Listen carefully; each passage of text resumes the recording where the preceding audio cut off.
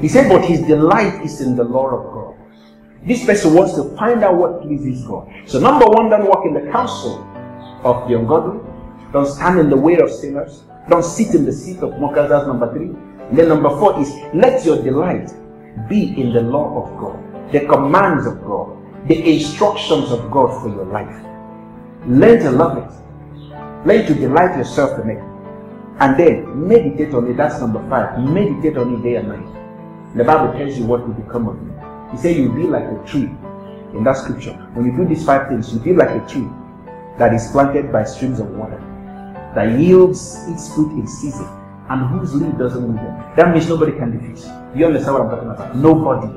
Your leaf never withers. Anything you do prospers, no matter what it is. No matter how many Balaams or how many sorcerers or how many magicians, it doesn't matter.